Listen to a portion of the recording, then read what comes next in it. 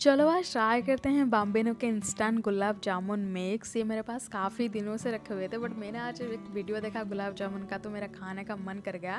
तो मैंने सोचा कि चलो यार, बनाते हैं, ज़्यादा कोई ताम झाम तो नहीं है, बहुत ही ईजिली बन जाता है। तो जिस तरह से इसके बैक साइड में इंस्ट्रक्शन वगैरह थे, उसी हिसाब से मैंने सारा प्रोडक्ट निकाल दिया है, और इसने कहा था कि वाटर पर आपको लेके मिक्स करना है बट मैंने यहाँ पे मिल्क लिया है। आप अपने हिसाब से कुछ भी ले सकते हो। देन अच्छे सा एक डो बना लिया है, देन सात बॉल्स मैंने बना लिया है। देन इसको हम करेंगे डीप फ्राई अच्छे से डार्क ब्राउन होने तक और मेरा जो गुलाब जामुन काफ़ी बड़े बड़े बन गए थे। मैंने बॉल्स काफ़ी बड़े बनाए थे। तो यहाँ पे फूल गया है वो सारा। देन मैंने यहाँ पे चाशनी में पानी लिया है देन ऐड किया है चीनी एंड तीन इलायची।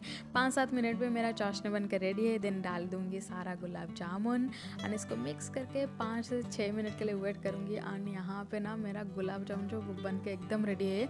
बहुत ही टेस्टी बनता है। अगर आपको कभी मन करता है तो आप इसको डेफिनेटली ट्राई कर सकते हो। आपको अच्छा लगेगा।